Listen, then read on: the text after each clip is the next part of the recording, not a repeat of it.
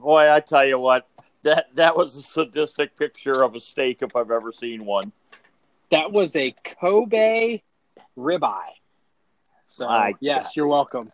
Uh, I Thank was you, eat- America. I was I, I was licking my screen.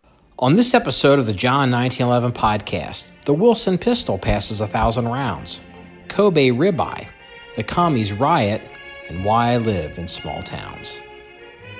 Okay, good evening, everybody. This is uh, Danny and Marky, and welcome to episode 175 of the John 1911 podcast.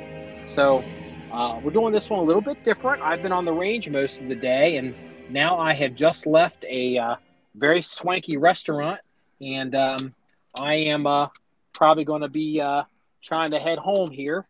And uh, I'm I sent pictures sent pictures of my steak to Danny, and thought I'd rub it in his rub it in his face a little bit. Yeah, well, mission accomplished. You That's did. right. Mission, mission accomplished. My Japanese Kobe ribeye, 14 ounces. I can't. I couldn't figure out what the uh, the weed things were coming out of the green beans or asparagus, though.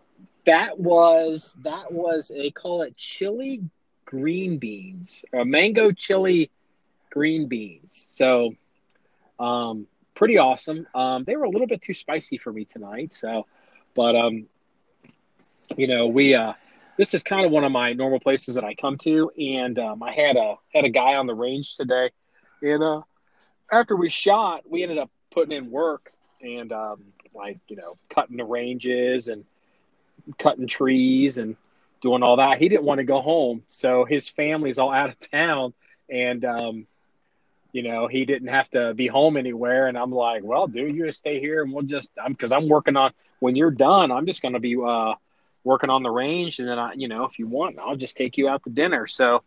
Um, it's the first restaurant I've been in, I think, in three months. I actually sat down and ate in the bar. So, That's still not uh, allowed here. haha. I hate you. Vote, vote re- you know what? Vote Republican. Help is on the way. So, Uh, it's got to. Well, they do. Yesterday, they did start to allow outdoor dining, but no more than 10 in the whole place. well, I will tell you this. They did have a, uh, it's like there were some limitations. Like, um, like every other table was blanked out. And as a matter of fact, they even had a thing where, uh, like if there's, so like if every other table's blanked, um, generally, but in some places they weren't. What they would have to do is, like, like there was a there was a couple sitting like the next kind of the next table over. Well, they were sitting across from each other because it you know it's like a boyfriend, girlfriend, or husband and wife. I don't know what you know, what they were. But Saturday night it's probably a date. So we, I went to go sit, you know, in the chair opposite of Doc, and um, they were like, "Well, you can't because there's somebody sitting there." Because our backs would have been within like probably a foot of each other. So Doc and I had to sit side by side like some gay couple or something. And so Well, just- I, I won't go there. A good thing Freeze isn't on with us tonight. no. Well, I'll tell you what, we got to definitely say this because uh, it is, you know, I actually missed some of the riot things that are going on in Cincinnati. Uh-huh. I mean, it's low level riot stuff, but uh, Freeze is working tonight, and Freeze is working in the ghetto, and it's 11 o'clock. He's been working for two hours, and um, he's going to have a long fucking night. And Oh, I yeah. hope he's safe because he, you know, he's been through them all. And so Well- this will this will be the first ride he's been in that I haven't been in. So prayers to Freeze you, tonight. could, you could always go, or you could come up here. We have plenty. No, no, no, no. You know what? You see, you know what you see through what you've done. Once you've done urban riots and college riots, like the sports riots. Yeah, you know what? You've seen all the riots. I mean, Oh, you know, yeah. It's like I don't even like I've been like in the middle of these fuckers, and it's like no, no I'm not. You know what? When I was younger, I used to be like wanting to be a badass and you know Billy Badass and like you know I I'm not a pussy. now I'm older and like maybe I maybe I I don't know maybe I am a pussy or maybe I'm just maybe I maybe I tell myself I'm retired be, and that's the only way I can live with it because I'm really a pussy and like oh no I'm retired now I've earned it you know maybe I was just secretly a pussy this whole time but I'm just like I don't even give a fuck you know I just I just you know I just Well, can't y- I just can't care Right. You and I are both retired, and you know we're we're both members of the KMA, the Kiss My Ass Club. You know we're out of here. You know what? Yeah, I mean, it's just like you know, but you know what? I'm going to make a point though. So all of our mail uh, for John 1911 goes to a mail center, and uh, the reason it goes to the main mail center is because the postal inspector watches our mail because we request it because we've had issues, and so you know we'll just leave it at that. So I have to go into the city to get mail. Um, unless it's like you know something delivered you know through like controlled like the ATF and FFLs but like regular correspondence goes through this mail center the postal inspector and so I have to go downtown into the city. And like well I mean I'm not you know I'm not going tonight to go get mail. It you know maybe I'll go tomorrow. But the thing is I'm certainly glad Wilson Combat that I'm carrying an 18 plus one uh, you know, appendix 1911 and an 18 round reload in my pocket because, you know, that that 10 round uh, Ed Brown nine millimeter, you know, is not really enough with a single reload to really get through a riot. You know, to shoot your way out of a riot. You know, a Reginald Denny situation when Well, you're outnumbered like 30 to one. Well, speaking of that, did you get that statistic I sent you on the increase in gun sales? I almost couldn't believe that. What was It's- it like? Um, um, E- Eight million, twelve million, something. In like a month? Yes, in one month. I mean, that almost seems like a typo, dude. It's like, it, No, I did my research. It's factual. It is factual. Now, you have to ask yourself are people arming up for the apocalypse? Are they arming up for the COVID? Isn't it funny now COVID's on the back burner compared to everything else going on with these riots? Well, you know what? The liberal media now has a new narrative. So it's like, forget the COVID. We're out of here. Now we've got somehow this is going to be, you know, this is going to be Donald Trump's fault or it's going to be my fault because I'm a, I'm a white middle aged, you know, I guess Republican, and you know somehow all this bullshit's my fault. You know, and it's just like, okay, whatever. So cough, cough, no more commie cough. But, Yeah. you know, like, I mean, it's like that's just over. Like, How you know. Eh, well, and you know, here's the, here's the thing.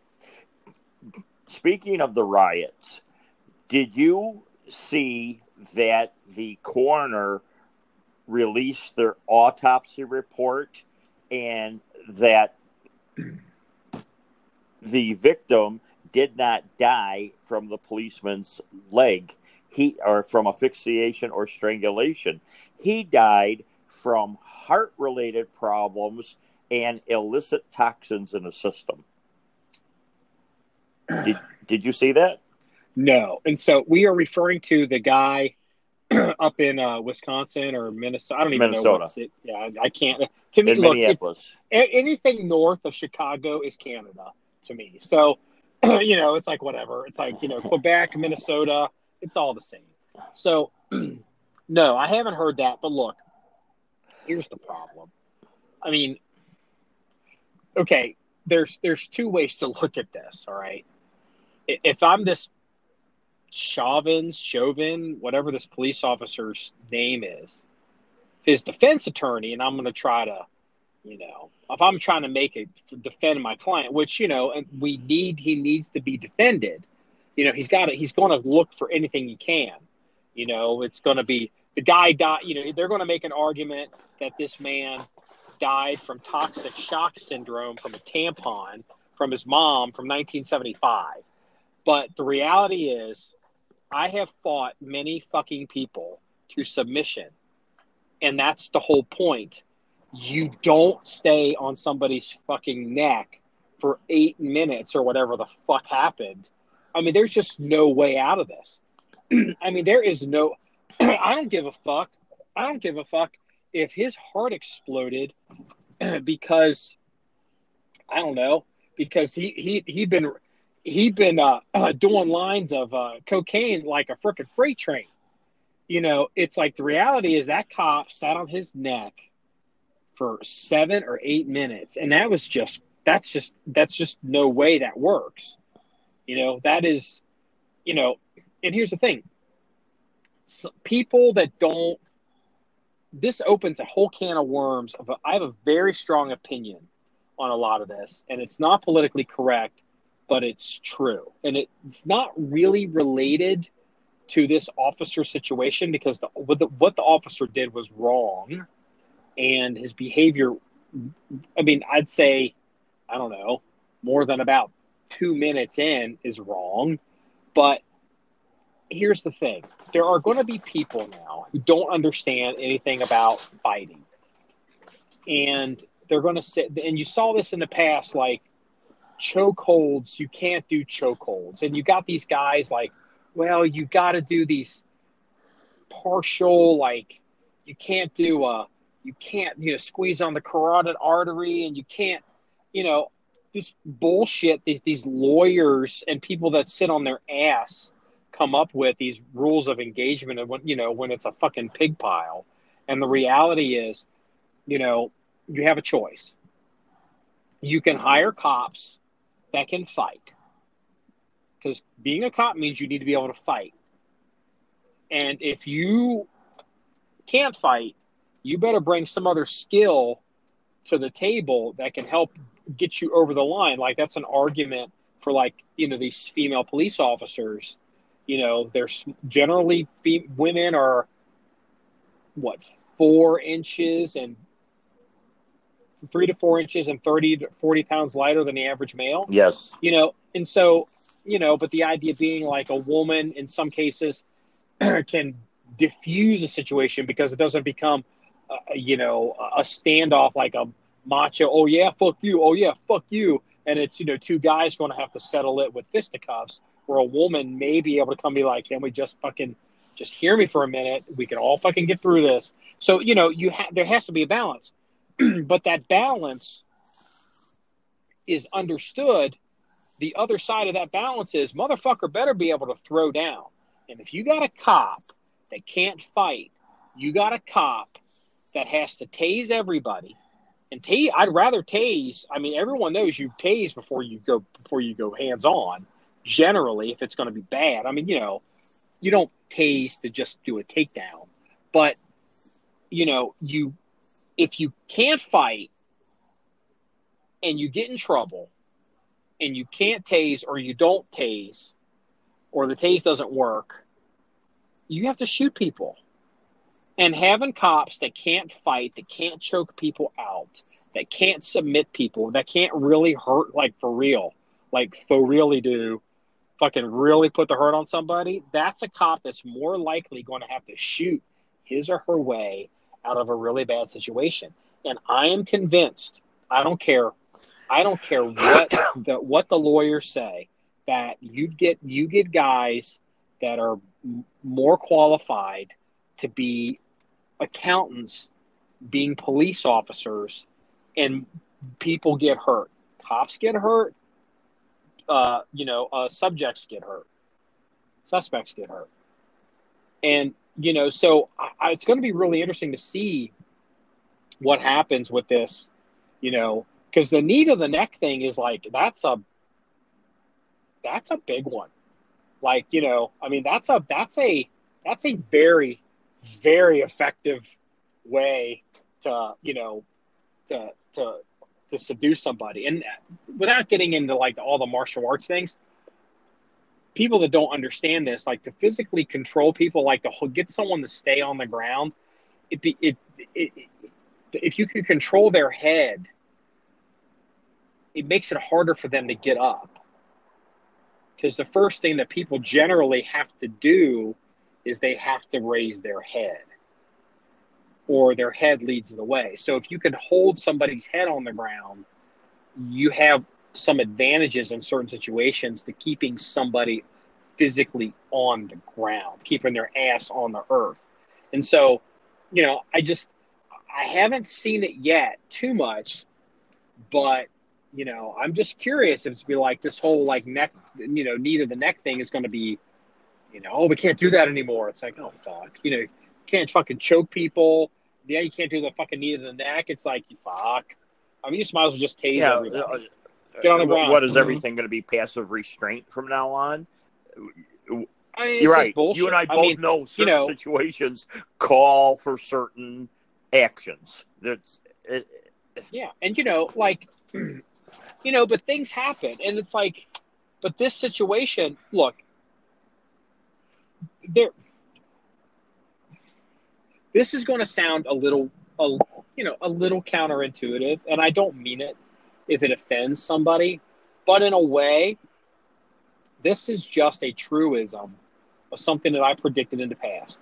And when I when I've gotten on this podcast or on our social media, and I have said that body cams, dash cams, and body cams will change the world because the narratives that the media portrays of how things happened, it's most of the time it's bullshit, and it's for the benefit of society to see what people are really dealing with.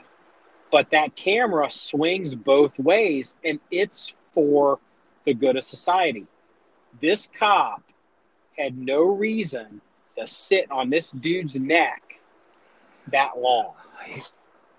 I mean, I've seen resisting arrest. I've seen, you know, fucking fucking rolling around in crazy bullshit and they had that guy. I mean, I didn't understand why and you know, and then I mean like and just for optically like he's you know, he's a little guy, and which proves a point. Like he's not a big guy. This cop does not seem like a big guy. Um, he has hands in his pockets. I mean, he's not even working hard to maintain his balance. Like this, this guy isn't trying to get up. Why is he on his neck for that long? Well, the answer is there's no good reason. This cop is going to prison. my my question is okay. The, the media showed where the suspect was not doing any kind of resisting. Then all of a sudden it cuts to where he's face down on the ground with a knee to the neck. So how did you get from passively walking in handcuffs to face down with the officer's knee in his neck? Something happened in a time frame which still hasn't been shown yet is my question. What did the suspect do to have to be taken down from passively walking? Well, look, here's the thing. I mean, I don't know what happened, and again, I don't want to jump to conclusions. I can just, I can know, I can only go by what we know right now, and I can also only go by the training that I I have received and experience. There is very rarely any situation where you take somebody to the ground that there is no resistance. So, you know, there just isn't. It's almost a natural. It's like it's like the it's like a it's like sticking the finger down your throat and you get a gag reflex. If I if I if I do something to disrupt your balance, Danny, as I'm getting ready to fucking throw you down, your body you will flail and do shit on the way down. I mean, because you will you will resist. It's a natural human instinct. So, you know, I personally do not hold, you know, that kind of resistance, at least initially, against somebody. Now, you know, you know, when you also see a situation where it takes like eight cops to hold somebody down because the guy's on PCP or he's a fucking, you know, a Hulk, you know, I mean, that's a different scenario, but that's not where we're looking at here. This skinny ass cop is on this guy's neck for eight minutes. And it's just, it's bizarre. And it's just not good. And, you know, it's, that's the difference between, you know, uh, being a hero and being Well, a, a son of I- a bitch. Well, I, you I know, you, got to tap totally people out. that the cop the cop was wrong. I totally agree with that. my problem is is there mo- missing tape footage number one and number two you know goddamn well that he's tried and convicted in the media and on social media already so you know who Oh, he, is. is. so if i were his lawyer i'd be going for the cov the change of venue in a heartbeat because even with that the guy will never ever stand a chance. Yes, he's going to go to prison. I agree. I agree with that. But he needs a change of venue if he even wants to have any kind of a chance. Oh yeah, we're not even to the point where it's even been assigned to. Uh, he hasn't even been, or has he been? Or he hasn't. I don't think he's even been arraigned yet. So this isn't. He's this isn't even on anybody's actual docket for like you know set for set for you know pre you know pre-trial hearings and motions. So I mean that's a long way off. But like okay, there's a couple other things here that kind of uh you know kind of. This is this is a little bit of Republican versus Democrat. This is a little bit um, like Democratic cities versus Republican cities, and you know, I'm obviously very pro police, but you know, it doesn't. Nobody ever wants to talk about the cops that need to be fired.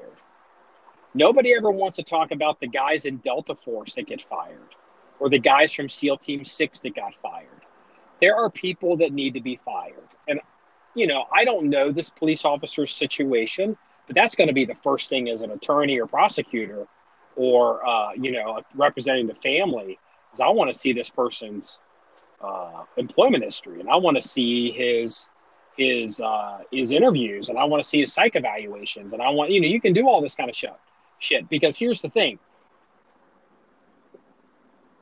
I'm gonna get I'm gonna tell two stories here from two different police departments and two two very similar problems but they had they all they ended up in two completely different resolutions. And this is about police officers that needed to be fired. Okay? So the first one is it's pretty well known because it happened in city of cincinnati. And um, this guy's uh you know he works for uh he's a patrolman. And there's issues he's having significant issues. He's crashing cars. He's forging timesheets.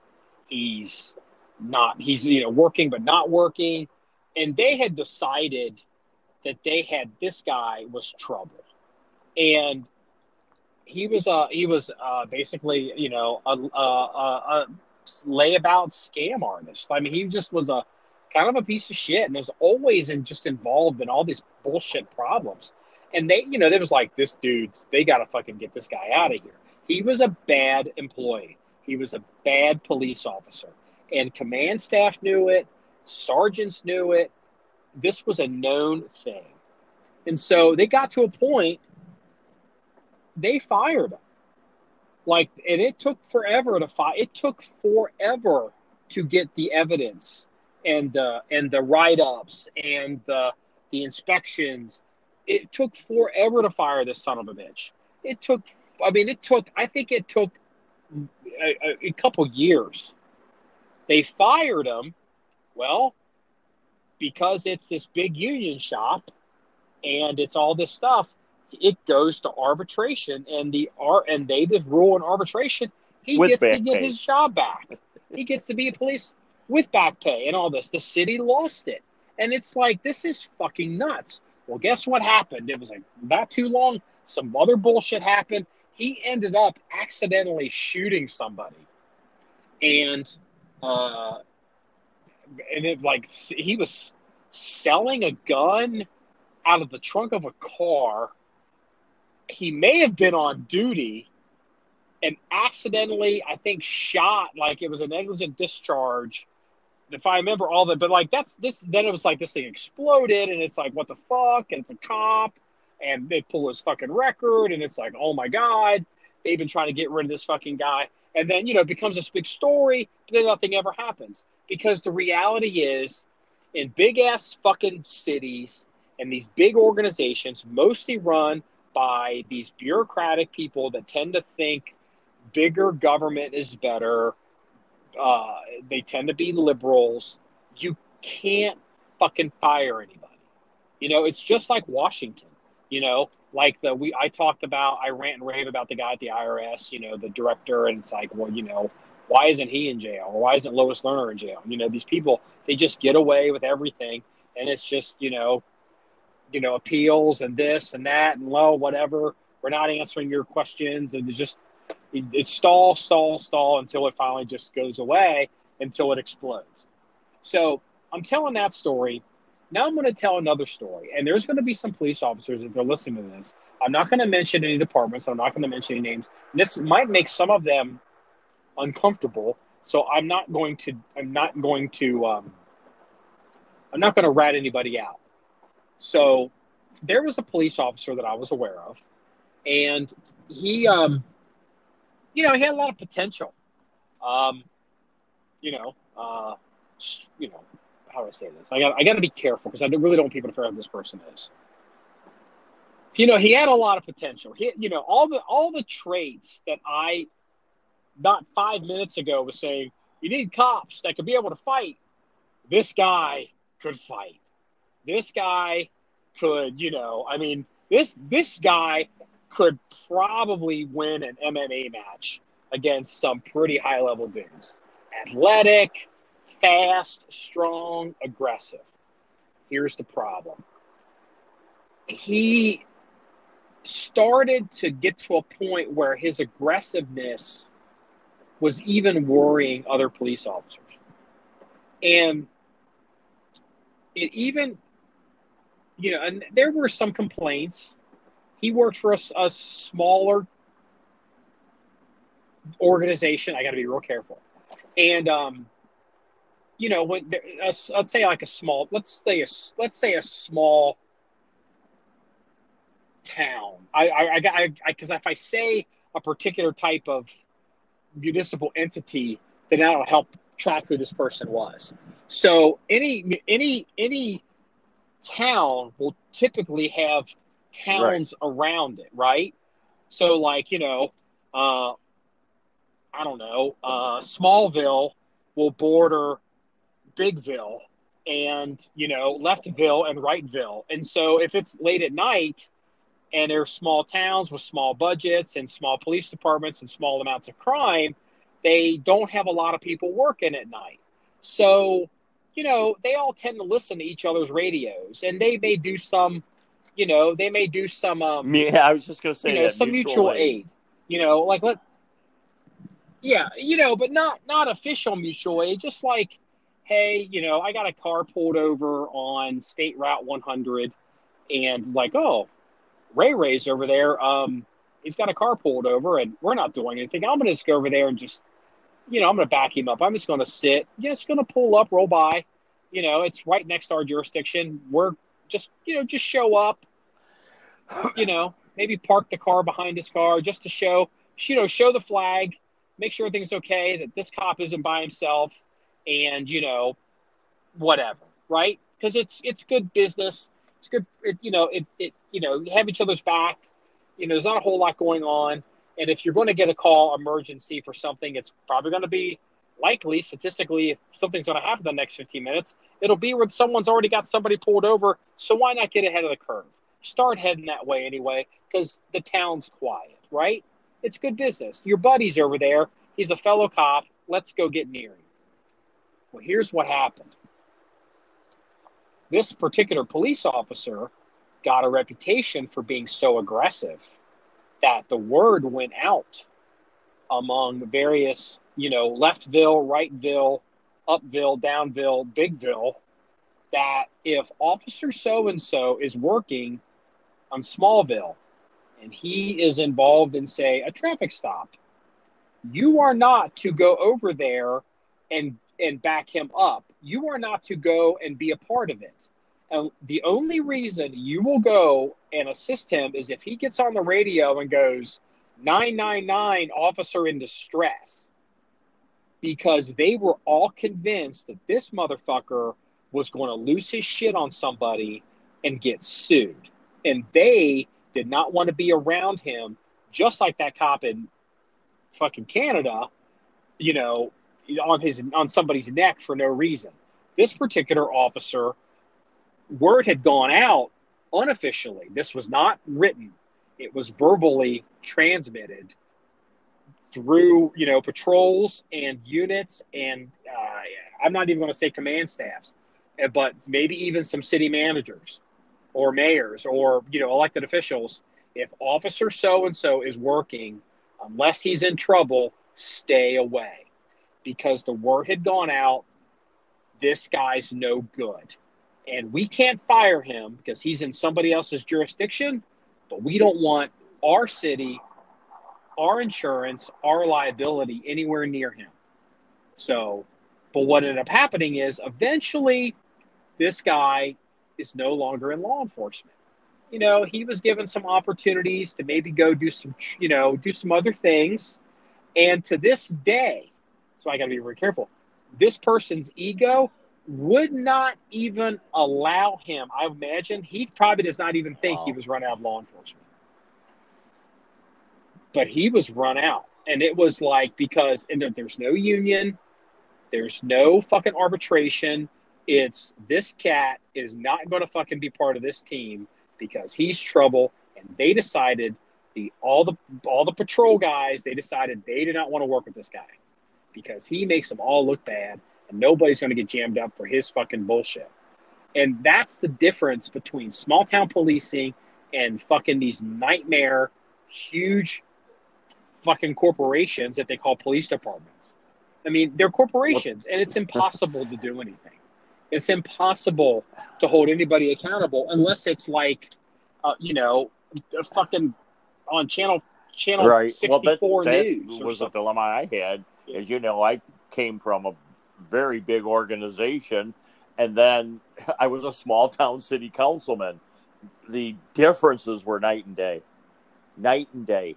You had to be in the small town you had to be mother father sister brother uh, negotiator priest you name it. It was all hats. And it's you're right it was totally different scenario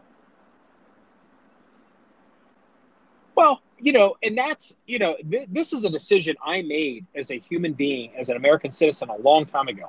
I've lived in big cities. I've worked in big cities. I made some money in some big cities. But i decided that it was better to live in a smaller town where I could know people, they could know me, you can build relationships. You know, it's like, for example, like just because I, I, don't want to slander anybody, so I'll use myself. Oh, you can slander me if you want. So, like, let's say, the F, no, no, no, but just you know, but just to prove a point. Like, here's the thing: like, if I lived, if I, I mean, it's not that hard. If I lived in the city of Cincinnati, I gotta be, I, you know, well, you know what? Let's just just say this. If I lived in Minneapolis, okay, and because you know they would know me in certain places, but like Minneapolis, they're not going to know me. Like so all of a sudden, I let's say I John nineteen eleven Armory, we're moving yes. to Minneapolis. Is that where yes, this thing Min- happened? Minneapolis. Was it Minneapolis? Okay, so so let's say I move there, and like let's say you know I'm doing I'm doing me, whatever that even means, my life and let's just say, for some reason, I don't know, the FBI or the U.S. Marshal Service, or hell, at this point, you know, I mean, freaking, you know, and the NSA at this rate decides we got to get Markey. We got to fucking get his shit and run his ass down. You know, here's the thing in Minneapolis, they're just going to find out where I live and they're just going to bang my door and fucking just come and get me. Well, the thing is, you know, if in a small town, they can just, you know, because they have to let people know they're coming. Like, hey, we're um, we're to come into your town tomorrow morning, and we're to bang, we're going to bang uh, Markey and uh, John nineteen eleven. so uh, you know, be ready. And they'd be like, oh well, we know him, and we'll just call him, and he can right. and surrender. Oh, I know exactly what you, you know mean. what I mean like everybody kind of knows everybody. It's like I I could get a call and be like, hey dude, um, they're coming for you. Can we just arrange a surrender and just like, you know, or be like, or the or the police chief would be like, show up like, okay, you're gonna bang Markey, you're gonna bang them John nine eleven Armory. The police chief's gonna be like, all right, I'm coming with you because I'm gonna show up. Be like, he's gonna go to the bullhorn, be like, hey Markey, it's the chief. come out. I'll be like, okay, Right. chief, what's going on? You know what I mean? And you can't get that kind of interpersonal relationship. You got no chance. You have no chance in these big ass cities, and it is Oh. they're awful. Or, or you live in a I small, mean, seriously. small town and you see visiting agencies maybe parked in the police lot. People notice the strange cars. Hey, did you see that car? Oh, hey, now wait a minute. That's wait a true. minute. Wait a minute. Let me tell you a story. This actually, this was this was a couple years ago. I wanna, I was. it's very early in the morning, and I'm.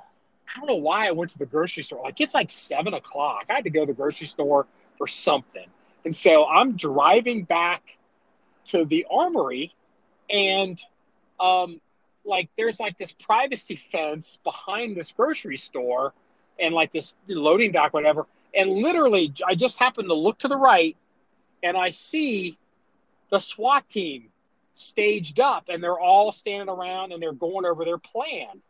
And I was like, they're gonna fucking hit somebody like right here. So, you know, I uh you know, it's like, huh, somebody around here is about to about to get banged. And so I almost sent a message be like, hey, you guys aren't coming to get me, are you? But um, you know, they're busy. You don't want to ring their phone.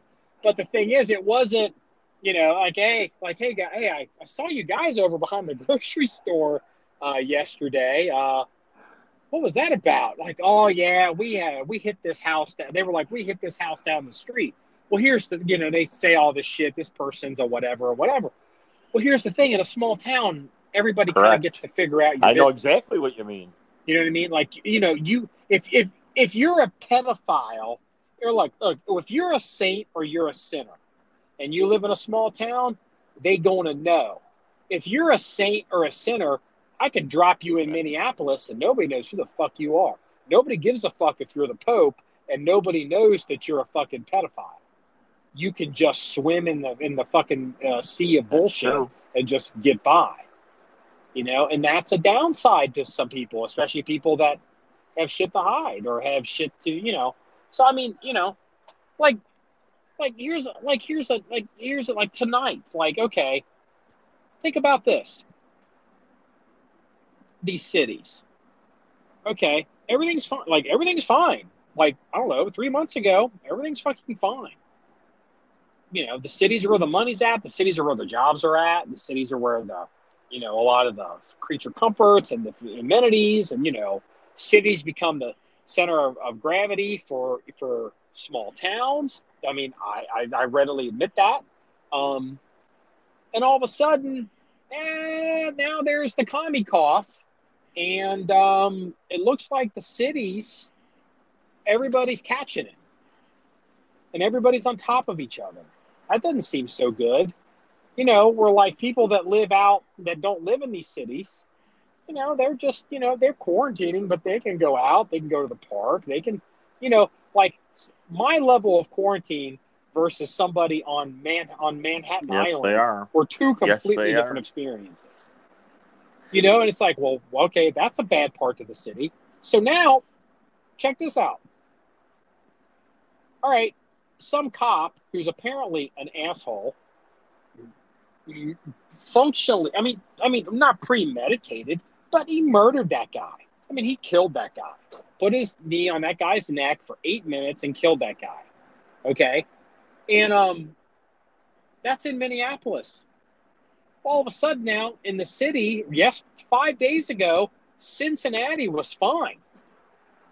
Well now they're they're they're fucking rioting you know they're Right. looting they're, ru- they're not rioting they're looting and so over the Rhine, West End, probably Queensgate, Cincinnati downtown business district, um, all the things in the basin. If you're living in Cincinnati, they curfew started ten o'clock tonight. That's why I'm not going down there to get mail. You know, it's like all of a sudden now something happens 600 miles away that has nothing to do with anybody around here. And if you live in a city, it's your problem. It's like, fuck that. I mean, fuck that. Like, here's the thing. Like, in a small town, yeah, you can try to riot, you can try to loot, I mean, you can do anything. It's ironic as hell like that you say that minutes. because in the small town that borders my small town, there's a, supposed to be a protest.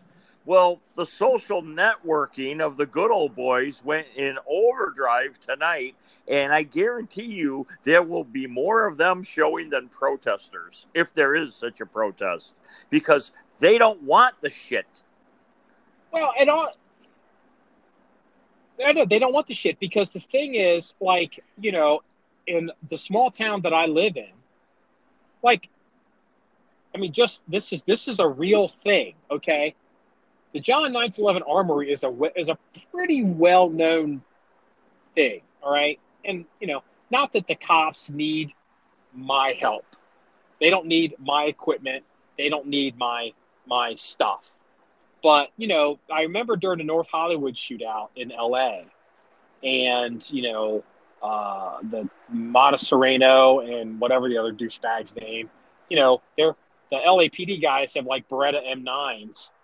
You know, they're these guys are fully armored and they went to Right. gun stores grabbing guns. You know what I mean? My point is, in a small town where I know the people worth knowing and they know me, like if they needed, like if they were like, hey, dude, they're like, fucking come, let's go, get it. You know what I mean? It's like, it's not going to be like, you know, all these people are going to like march through my town and tear up the shit. Well, you know, I'm not going to go looking for anybody, Yeah. but they're not going to get past me. I'm going to sit where I sit and, and protect me and mine. And you coming over Yeah. here, you're going to get the fucking hammer because this is my house. This is this is where I live. These are my people. I'm not. I you know even the people across the street. I may not like them. You know, I may not even know them that well. They may even not like me at all because I'm the fucking Trump gun guy. But I'll be goddamned if I'm going to sit around and let you burn Yep. their house and beat their women. You're out of your fucking mind. Because in real America, not these commie cities, fuck you. We're, we're going to fucking kill you. That's, You know, nobody that's wants to exactly, hurt That's anybody. exactly why there You know, was 12 and here's the thing. million guns sold last month. Yeah, because all of a sudden it's like, wait a minute, all of a sudden things are perfectly fine. Like all of a sudden now, wait a minute, you mean the cops aren't coming? They're busy? Yeah, dude, they're too busy. Everybody's busy right now trying to keep people from like stealing, you know, knocking over the the, the freaking TJ Maxx or whatever the, the hell these assholes burned down. It's like it's you know, like it's like like the rest of America doesn't want this cop to go to prison. Yep. You know, I mean, it sucks, but it's like this is not helping. Like, and I, I thought this was interesting too. Like, what was it? Um, and I, you and I texted about this earlier, but when I was out at the range, you know, Donald Trump got on Twitter and he made a comment. He's like, um, he didn't say it the way it's traditionally said, but like, uh, like I, we always say it, looter, looters will be shot. Um, and he said it When the looting, he said it when the some way, looting but he basically is like, you know, starts, how do you stop- what Trump said. Yeah, something like that. And so they're what they're trying to say is they're trying to say that like the left is I guess I don't know, some racist guy in 1968 may have Mayor said Dale- that Mayor in Daley in some race Chicago. riot. He told. I like- have the quote right here. He told the police superintendent that he will issue the order to shoot to kill any looters, any people with Molotov cocktails, or any people basically like that. He said it and he meant it. The looters and the rioters knew it that they would be shot, and it was quelled that minute. Yeah, because the thing is, when you're dealing with a riot, when you're dealing with people that want to fight you, that's what it is. It's a fight. You have to show strength. Okay, that's why the knee to the neck works. Okay, but it's like you know strength, but also prudence. Okay, but it's interesting. Like these people, they're so they resort they resort to their priors these liberals, these hippies, these this this that it's the news. Like somehow this is all back to the '60s, and this has to do with racism, and this has to you know somehow Donald Trump. This is like I don't know, a dog whistle. It's like, wait a minute. The fucking king of England used to have a dude come out in a three pointed hat and a red velvet fucking coat. And they Yeah, used to be like, literally. I shall read, read you the riot act. And if you do not disperse, you will be shot. And it's like, that had nothing to do with black people. It's like, what the fuck? I mean, I, I just, just, it's like, they just are dying. They're literally, they're literally killing these communities to push an agenda. And I, I, if anyone's listening to this podcast and wants to see a voice in the darkness, that's they're waking up to some of this. There's a guy. His name is Killer Mike. It's a black guy. Lives in Atlanta, and I think he lives in Atlanta. And Killer Mike is not a Republican. Killer Mike is not a conservative. Killer Mike is not Colion Noir. Killer Mike is not who you typically, if you're listening to this podcast, somebody that you would listen to. But Killer Mike knows two things. Killer Mike believes in owning guns and gun rights. His reason for owning guns is he thinks America's racist and uh, uh, you want people want to kill black people and they need to defend themselves. And you know what? I think anybody should be able to defend themselves. I don't want black people killed. I mean, I'm not going to try to kill black people. So if they have guns, what do I care? I'm not, they're not going to be shooting at me. And so that's his first position. And his second position is he's now coming to the realization that these these he, he this is the way he phrases it white liberals. Now, I don't phrase it as white liberals. I phrase it as communists who come into you look you look at some of these riots, watch the news in these black neighborhoods. Watch the news. And yeah, you'll see, you know, you know like they'll show the video of the of, of you know people like black people stealing TVs. But how many white people are you seeing wearing masks running around? It's like, where are these fucking people coming from? This is a black neighborhood. And it's like Killer Mike is starting to realize these white liberals are coming into black neighborhoods, starting riots, starting fires, smashing windows for their political agenda, and they're just tearing up our communities. And he's like, wait a minute. He's like, what are you doing? You know, and it was like, and he even called out CNN on it, and it's it's very interesting. I mean, again, Killer Mike is not the guy that most people that listen to this podcast are going to be like, "Hey, I want to." He's not. He's not. He's not that pastor in North Carolina that said, you know, gave that speech at city city council, be like, "You never want to put the mm. blame at the shooter's feet. Right. You want to put it at my feet." He's not that guy. That guy, you know, most people that listen to this podcast will be like, "I love that guy." Speaking of that guy. liberals, I- did I'd you give that guy a hug. I love what the guy. mayor of Washington D.C. did? Okay, no, communist. they I- are I protesting and rioting I in D.C. outside of 1600. She came out on the news channels in Washington and said, I will not commit one Washington, D.C. police officer to protect Trump or that property because he's racist. Supposedly, then, one of Trump's people said, That's fine Great. because besides the Secret Service, we have three military bases within 20 minutes and 28 armed agencies within three minutes. Don't come. That's fine. Yeah. Uh, yeah. Um. Uh, the officers, the O Club at Fort Myer is awesome, by the way. Ask me how. Don't ask me how I know. Um. But Uh, who, who the hell is she to say that she's not going to afford See, protection to a citizen because she doesn't like his politics? Well, but here's. I know, but it's like, would she have done that for Barack Obama? And you know, look, these. But again, that's again, that's what you get.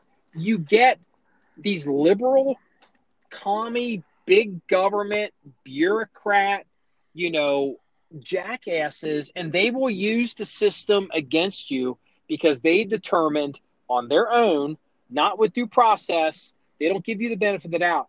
I, in a small town, look across the street and person with the Hillary sign and somebody's fucking with them and be like, uh, yeah, no, that, that shit's not going to fucking happen here.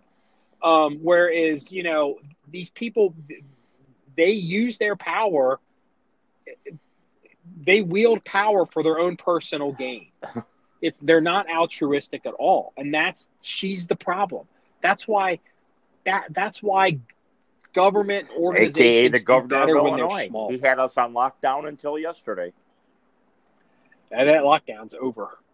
I mean, that's like that's Yeah. I mean, now- it's like lockdown. What the lockdown? You know, It- like I don't know. yeah. I don't know. All I know is your profile picture of that Wilson combat is something else. No, I don't. That's the thing. I you like don't. that? I put um. Well, put.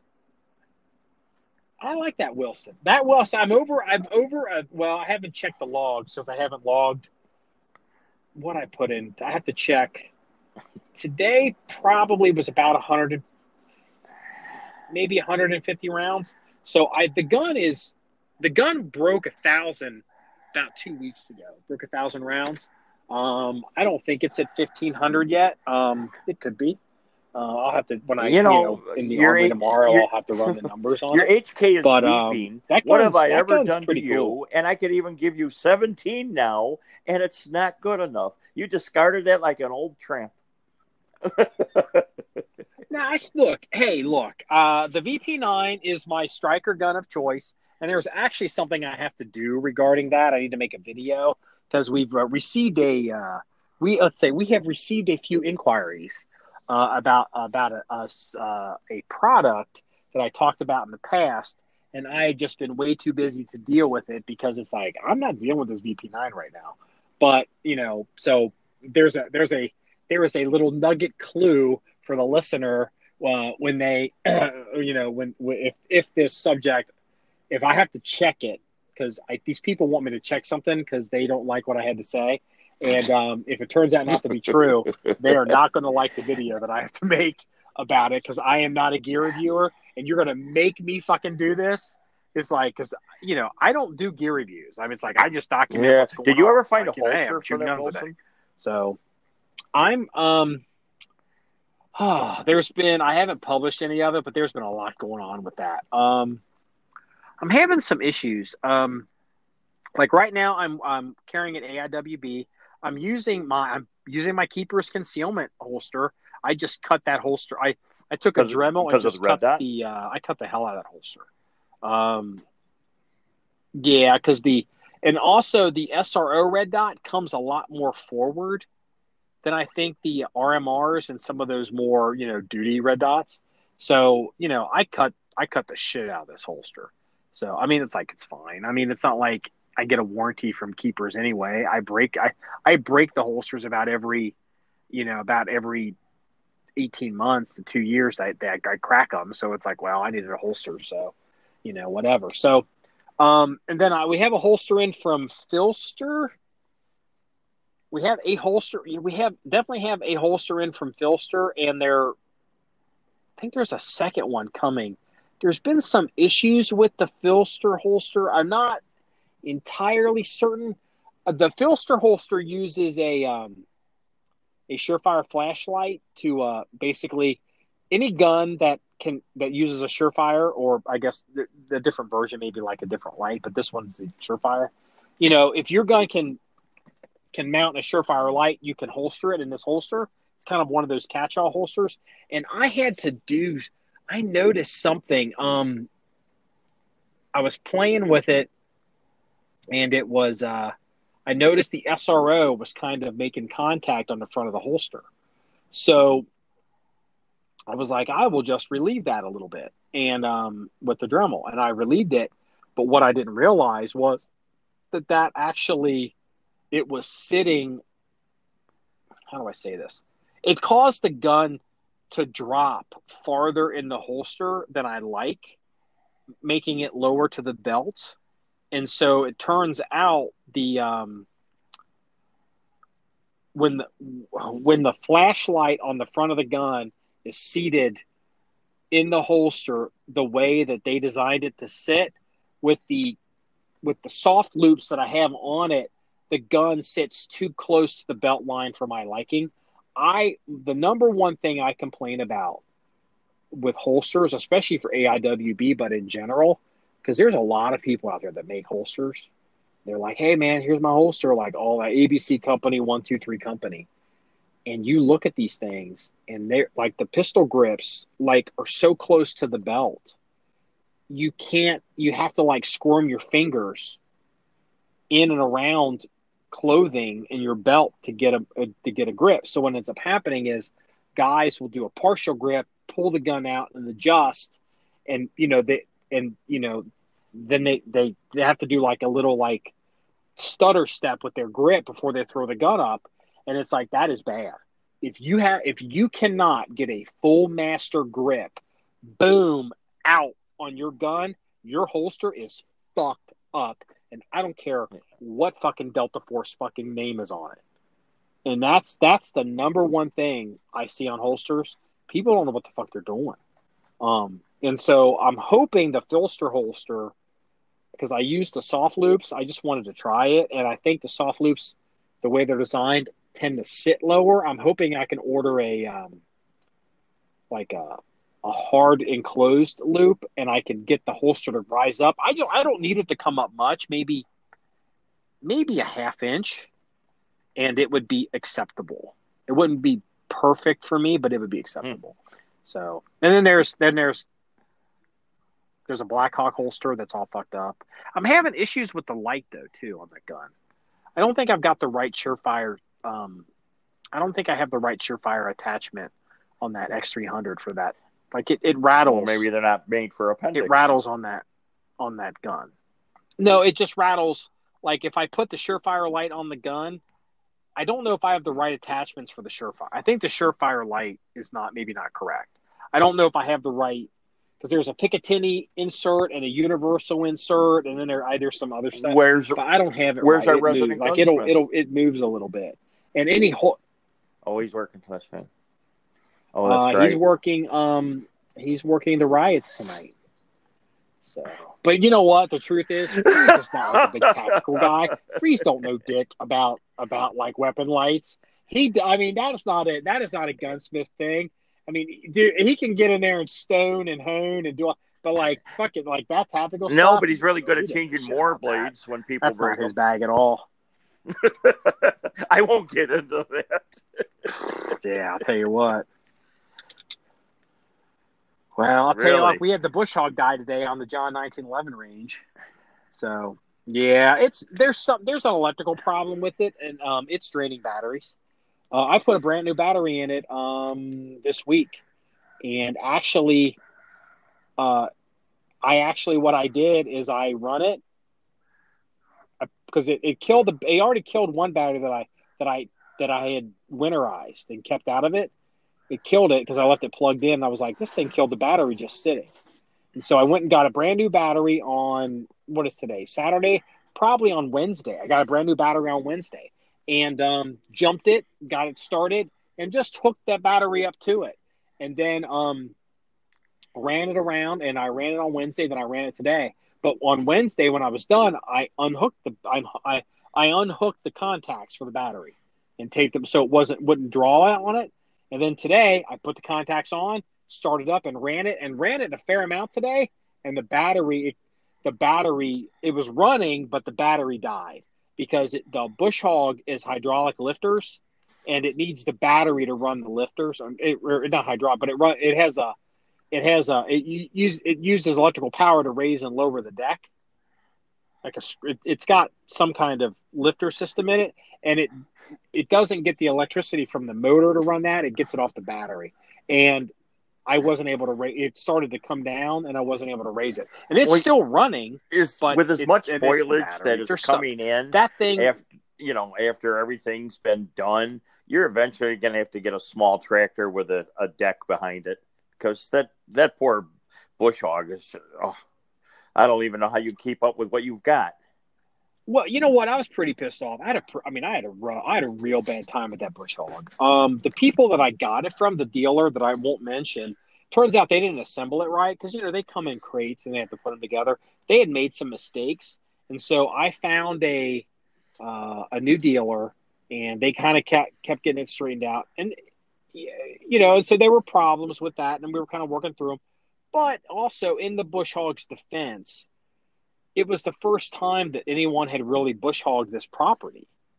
and we kept we me kept running into everything like i would be like giant crazy rocks and like 100 year old barbed wire and like i mean i'm surprised i haven't hit an indian mound yet but you know like it just comes a point when you because you know you would not intentionally run No. a bush hog over like boulders. You know what I mean? Like, yeah, yeah, you have to clear the, you know, and so with Yeah. all the work that's been done, you know, it just takes time to find things. And so, you know, and so it's been, It's only May. you know, this year it's been good. You I still mean, have a long summer if of I- cutting. That's what I said with the I'll tell you foliage what, that coming in. grew- oh my God, you might grew want so to think much, you're getting man. something just It- a little bit bigger. Well, the problem is that property, the it's not safe to run a tractor on. Yeah, because the, the the rifle range has natural backstops, and it's there's some pretty serious hills there, and there's just there's just ugh, you know it's it's better with this deck and the and using the UTV. It just is because you know it's more nimble and it's got power but speed and it sits lower to the ground and if you do roll it but it won't roll You're right. but the thing is built to roll you know what i mean like a, a polaris general can roll you can roll it you know it may flood it but it'll you can roll it it's not a big deal just keep your hands inside you speaking know? of I mean, speaking of the you roll a range, fucking tractor have- fuck me you got. I You know the pistol range. You pretty much have dialed in. What about your thousand yard? the million dollar question. Um, damn, you're not kidding. Um, Okay. I can't. I don't want to speak on that publicly yet. Um, there's some things going on there. Uh, I I haven't officially announced this, but we do have 700 right now. If I in a pinch, like here's the thing: if somebody sh- if if Donald Trump showed up and said, "Hey, you need to shoot. You you need you huge. You need you need huge numbers. You have to shoot. I can't even do his voice. You need to shoot 700 yards. Be like, yes, Mr. President, we can fucking shoot 700 yards. I mean, it might be one guy at a time, but we can fake seven. Um, and you have to know what you're going like because I don't have. You know what I mean? Like you, you just can't. Like I would not let. Like there's only like even the snipers there's only three snipers that I would let them shoot that, and even then they have to shoot it one at a time so we can work together on it. Um, I've got seven right now, and then I have a plan that we might might do eight, and then I then then without getting into it, we might call it at eight. We might call it at seven. What really would be eight, but the the eight wouldn't come until next year because it would it would it would in we because oh, that and I remember why. rifle range Oh, on this side. Now I remember why. And so yeah, seven's fine. Uh, I, I, yeah, seven's fine. Seven's fine. You do not do not elaborate. Yes, I so- remember now. it's fine. Yeah. So Yeah. So you know when you get old, the senility does Okay, kick so- in once in a while. So you have to excuse me for that. Yeah, well, you know, you sent me the picture of the steak, and I haven't been I right since. So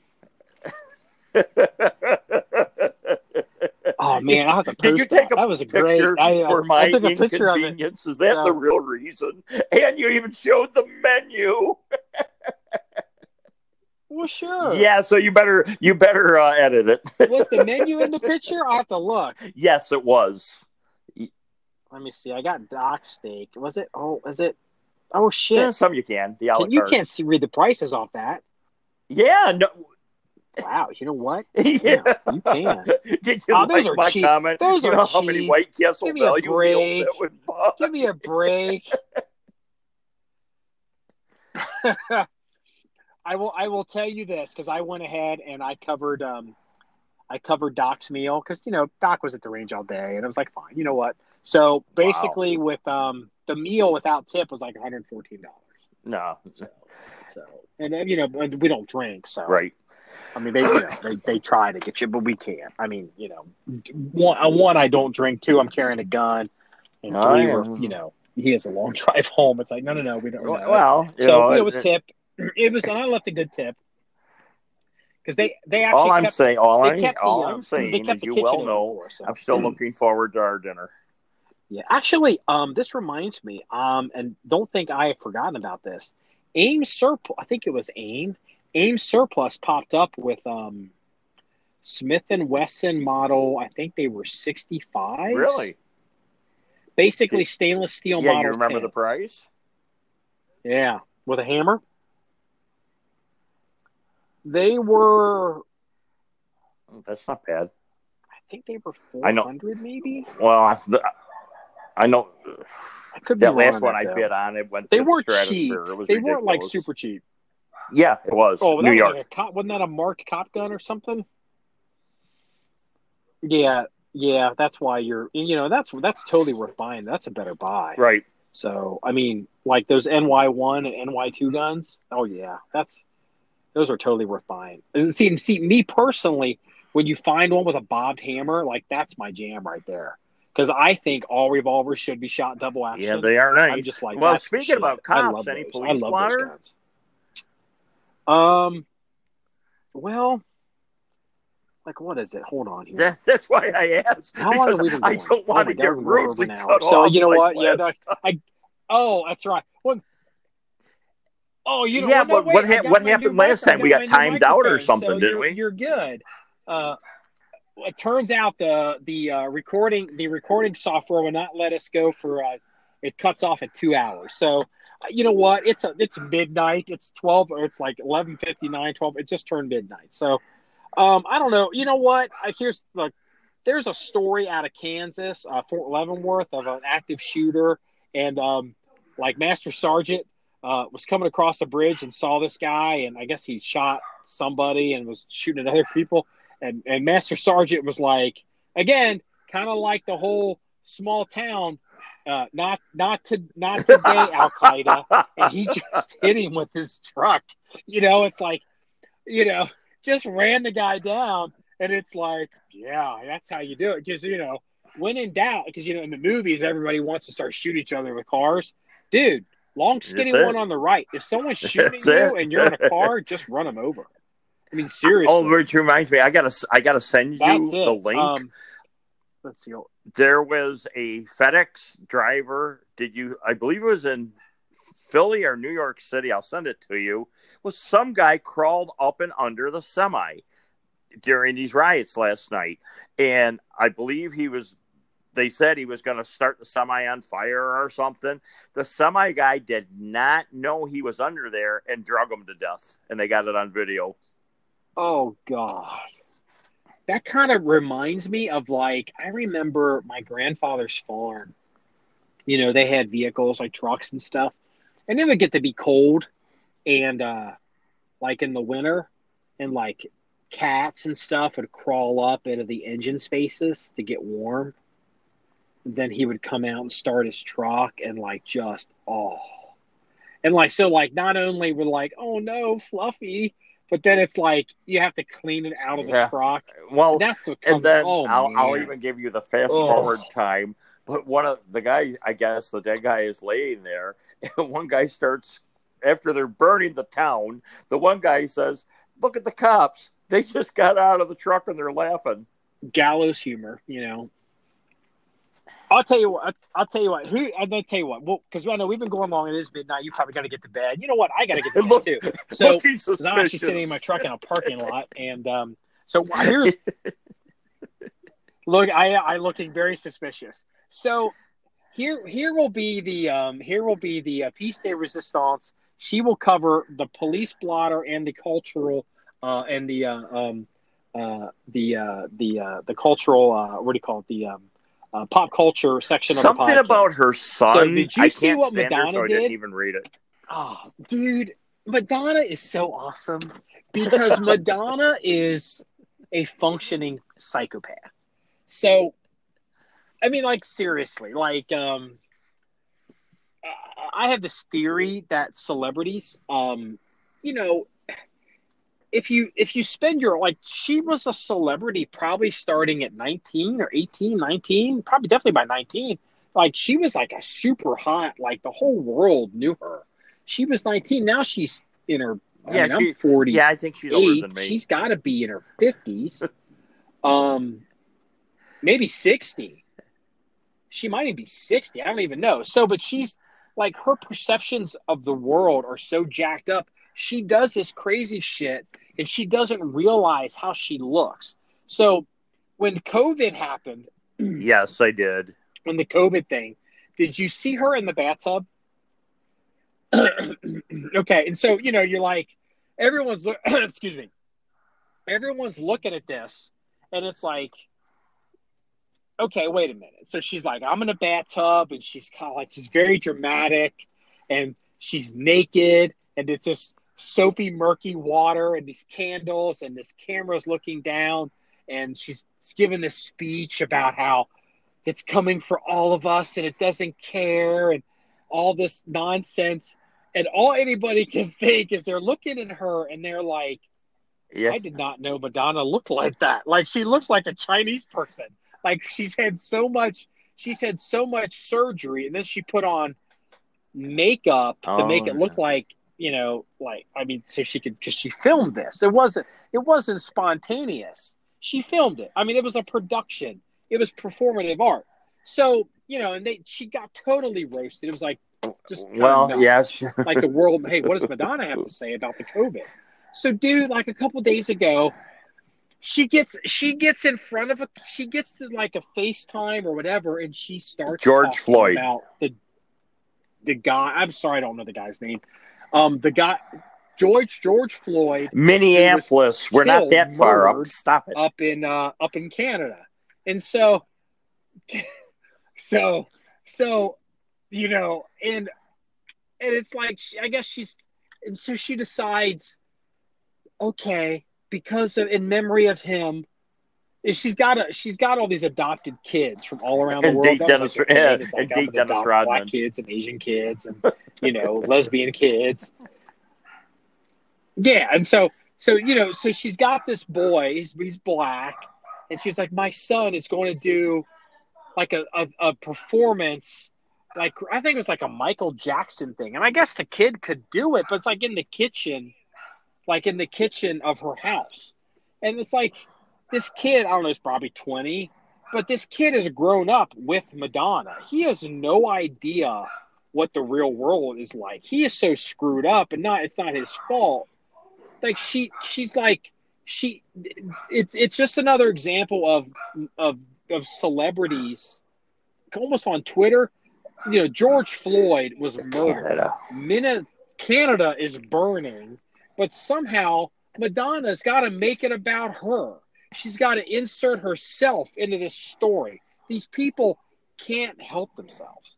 And it's so cringeworthy. I actually, I kind of enjoy it. It's like, because it literally, it, it teaches me, it, it's like, but for the grace of God, like, oh my God, this is, Oh, this is please never let me be so disconnected from reality that I turn on a camera because I do turn on cameras and I do something so batshit crazy yeah. I become an internet but I. I tell you what, you, You weren't know, kidding. She it's like, definitely has God, been rode hard Please put away wet. Jesus. Oh, she, she looks bad.